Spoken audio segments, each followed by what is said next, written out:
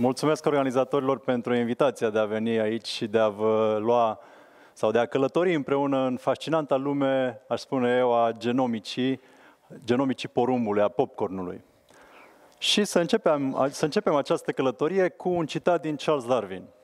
Acesta spunea în urmă cu ceva timp că omul nu poate cauza variabilitate și nici nu o poate preveni, dar o poate selecta, conserva și acumula.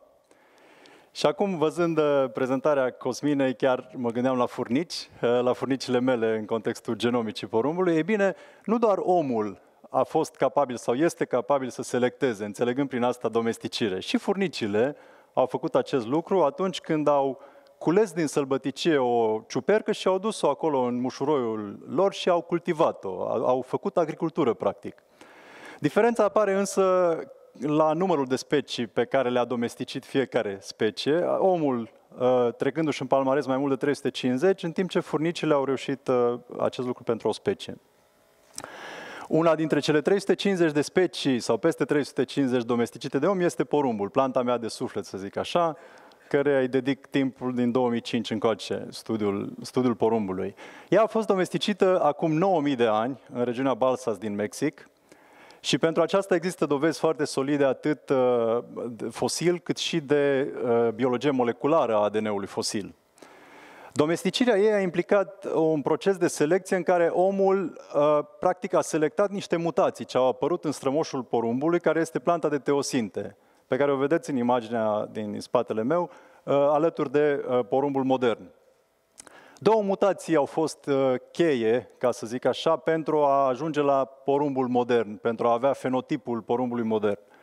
Una din ele a îndepărtat capsula pietroasă care înfășura acele bobițe înșirate uh, pe un, un fir la teosinte și astfel conținutul foarte nutritiv al boabelor de teosinte a devenit mai accesibil, nu doar pentru om, ci și pentru animale, pentru uh, creșterea lor. Iar cea de-a doua mutație a dus la uh, apariția acestui singur tuleu și a știuletelui. Există însă o diferență uh, de timp foarte mare în uh, când au apărut aceste mutații, în timp ce prima a apărut în urmă cu vreo 8.000 de ani, deci puțin după domesticire, cealaltă a apărut la o distanță de 4.000 de ani. Porumbul modern, așa cum îl știm noi, a fost adus în Europa în, secol, în secolul XV prin expedițiile lui Cristofor Columb și aproximativ două secole mai târziu el era uh, raportat uh, ca o, o cultură pe suprafețe destul de extinse în România. Strămoșul uh, porumbului de aceste osinte crește actualmente în regiunile tropicale ale Mexicului și este chiar interfertil cu porumbul modern. Vorbim însă aici de o, când cele două specii sau subspecii se încrucișează, avem de a face cu un hibrid interspecific. Uh, pe fond roșu vedeți progenitura care rezultă din uh, încrucișarea lor. Dacă vedeți această progenitură este similară cu uh, catârul, rezultat din încrucișarea calului și a măgarului. În ambele cazuri, progeniturile nu sunt uh, fertile.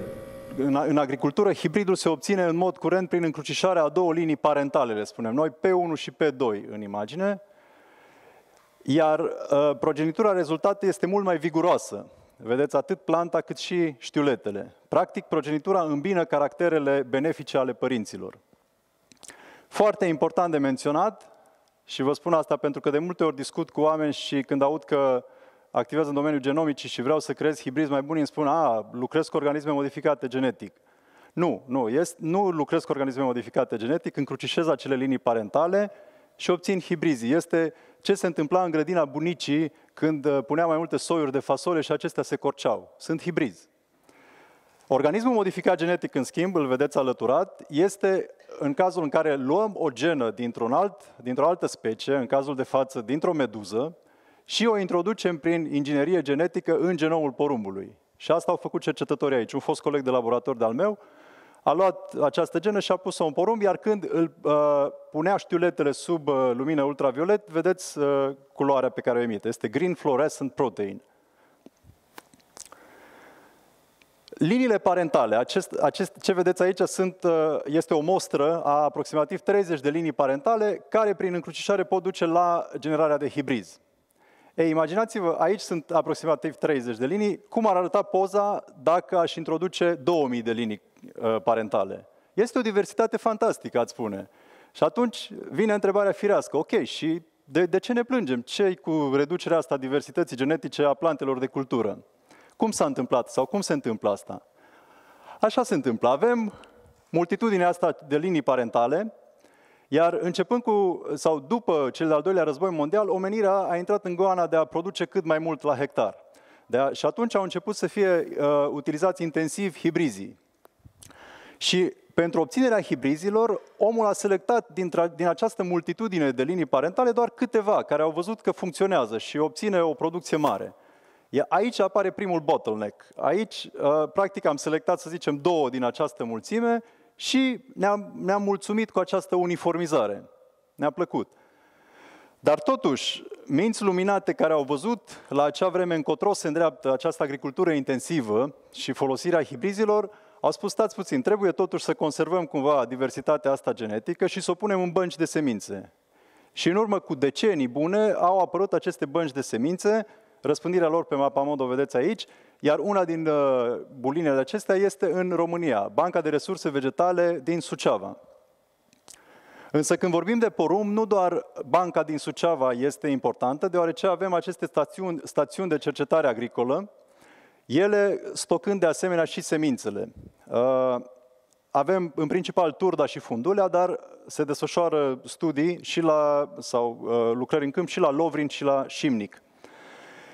Ce am făcut într-un proiect de cercetare pe care, sau ce facem în proiectul de cercetare pe care îl avem în desfășurare în laborator în prezent, am colectat aceste 1900 de linii parentale din România, cărora le-am adăugat încă 500 din Republica Moldova și 100 din Serbia și vrem să vedem cum arată uh, background-ul lor genetic. Uh, de ce dorim să facem asta?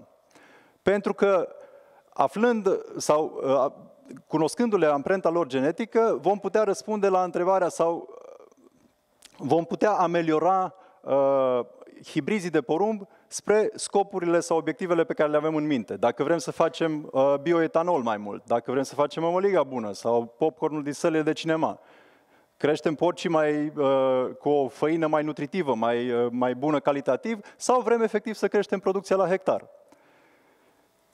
Producție care, apropo, chiar dacă porumbul îl vedeți aici ca principal plantă de cultură în România prin prisma producției pe care o are, suntem încă sub media europeană la, ca producție la hectar. Deci este loc de îmbunătățire și în termen de producție efectivă. Dar, repet, pentru a răspunde la întrebarea aceea, ce dorim să facem, trebuie să cunoaștem substratul genetic și facem o amprentare. Și imaginați-vă aici că, vedeți aici cei 10 cromozome ai porumbului, aici cele 10 degete ale omului. Da? La fel se întâmplă și în cazul porumbului, ca și amprentarea degetelor noastre. Aflăm despre Mihai Miclăuș amprentând degetele mele. Ei, în cazul porumbului, imaginați-vă că băgăm cei 10 cromozomi în tuș și îi punem pe o foaie să vedem ce, ce amprentă lasă. Ei, vor lăsa o amprentă de minim 10.000 de puncte și minim 1.000 de puncte pe uh, fiecare cromozom, deci cei 10. Studiind această, uh, sau ca să studiem această amprentă, acest uh, imprimeu pe care îl vom lăsa pe, pe hârtie, noi tăiem sau scoatem ADN-ul prima dată din, uh, din celulă și dacă, imaginați-vă că dacă l-am lineariza, ar fi 1,5 metri. O singură celulă din planta de porumb are 1,5 metri de ADN dacă îl întindem. Luăm ADN-ul acesta și îl tăiem cu niște foarfece, care sunt de fapt niște enzime, enzime care digeră ADN-ul. Și îl tăiem în minim 10.000 de locuri, iar apoi dăm un zoom in pe fiecare din cele 10.000 de tăieturi. Și începem să ne uităm acolo la înșiruirea de nucleotide. Nucleotidele fiind cărămizile ADN-ului, cele patru, codificate prin litere, A, T, G, C. Mai mult, ne uităm nu doar la înșiruirea de nucleotide, dar ne uităm la acele locuri din înșiruire care sunt variabile între cele 2000 de linii. Și apoi le extragem bioinformatic și le punem într-o matrice, ca cea din imagine. Matricea aceasta va avea, deci, în final, 10.000 de coloane și 2.000 de rânduri. Veți fi surprinși, dar uh, comparând doar două linii parentale de porumb, îmi va fi mult mai ușor să găsesc variabilitate decât comparând cimpanzeul cu omul. Și de ce se întâmplă acest lucru? Pentru că genomul porumbului are o particularitate, și anume mai mult de 70% din el este compus din elemente genetice transpozabile. Imaginați-vă aceste elemente ca niște săltăreți care de fiecare dată când uh, se replică celula, ei sar dintr-o parte în alta în genom și se inserează în gene, cauzează mutații, extind, contractă genomul. Deci este într-o dinamică fantastică genomul porumbului. Mergând mai departe cu analizele bioinformatice, noi vrem să vedem gradul de înrudire dintre liniile respective și astfel vom analiza blocurile, blocurile de nucleotide și uh, cât de mult sunt, cât de mult, uh, sunt uh, șeruite, cât, uh, se, se, cât, cât se înrudesc liniile prin aceste blocuri. Și este un, uh, un cluster analysis, dacă sunteți familiarizat cu procesul. Deci, practic, noi grupăm toate aceste linii în niște grupuri heterotice, în niște clustere. Și sunt foarte importante aceste grupuri heterotice pentru că pentru a obține un hibrid superior uh, în funcție de fenotipul pe care îl dorim, trebuie să încrucișăm două linii parentale provenind din clustere cât mai îndepărtate, ca să fie o diversitate genetică cât mai mare.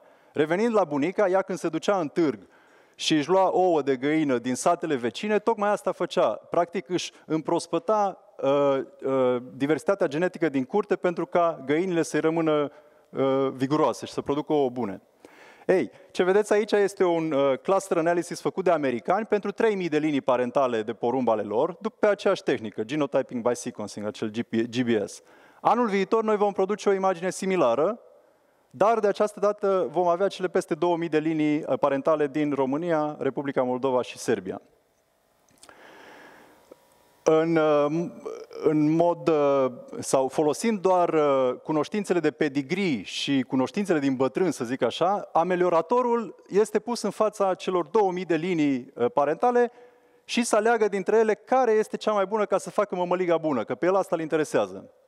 Și va lua, el știe, are niște informații, cum vă spuneam anterioare, și de pedigree și de cum se comportă linia și știe că linia 1 este cât de cât bună, dar vrea să, fie, să facă o mămăligă și mai bună. Și atunci, empiric, el va lua și va încrucișa linia 1 cu 2, cu 3 și așa mai departe. Un efort mare de timp și, uh, și financiar. Aici vine predictive breeding. Ce facem noi acum? Analizând uh, la nivel molecular uh, patternul genetic al celor 2000 de linii, noi vom putea spune cu o mare, mare probabilitate că încrucișarea liniei 7 cu linia 14 va produce, va genera un hibrid din care făina rezultată din acesta va avea niște proprietăți organoleptice foarte bune, va face mămăliga bună. Ce facem cu amelioratorul care vrea să facă bioetanol? Ei, uh, model, îi modelăm, uh, îi facem aceste, această schemă de încrucișări și spunem că cu cea mai mare probabilitate, încrucișând linia 21 cu 27, hibridul respectiv va avea un mare conținut de carbohidrați și, prin urmare, va produce foarte mult bioetanol. La fel și cu uh, popcornul pentru cinema, uh, prin schema de încrucișări, îi vom spune 16 cu 22 este cea mai probabilă uh, cale de succes. Și atunci vom încheia cu, revenim la citatul lui uh, Charles Darwin pe care îl vom parafraza aici. Și sper că v-am arătat că omul poate cauza variabilitate, pentru că ați văzut acel uh, GFP corn, acel, uh, acel organism modificat genetic, nu o poate preveni însă. Pentru că, v-am spus, acele elemente genetice tra- transfozabile își fac de cap. Nu avem la ora actuală o metodă de a le controla. Deci variabilitatea porumbului se, se va perpetua. Rămâne valabilă afirmația că omul poate selecta, conserva și acumula. Și ce v-am arătat acum este că putem merge mai departe și investiga această diversitate folosind tehnice, tehnici de ultimă oră în biologie moleculară, genotyping by sequencing, și colectând toate aceste date de biologie moleculară, mergem la predictive breeding cu aplicații directe în, ameliorator, în, în ameliorare, dând sfaturi amelioratorilor uh, pentru, a-și, uh, pentru a-și obține hibrizii de interes. Cu aceasta voi încheia și vă mulțumesc pentru atenție.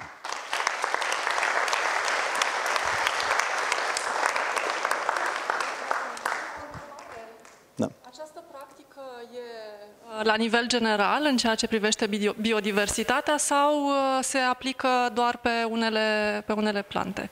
Acest genotyping by sequencing, asta este tehnica de biologie moleculară, este fezabil a fi aplicată în orice plantă de cultură. Și de fapt ăsta e următorul pas pe care îl urmărim în România. Arătăm că funcționează pe porumb și vom lua următoarele plante de cultură. Și este o tehnică relativ nouă la, în, în plan mondial, este, se are la bază așa numita Next Generation Sequencing care practic, mai departe acum am mai pornit, practic, dacă vă închipuiți genomul uman, a costat milioane de dolari să, să fie secvențat și așa, ei, acum îl putem face cu 10.000 de dolari sau mai puțin, prin Next Generation Sequencing.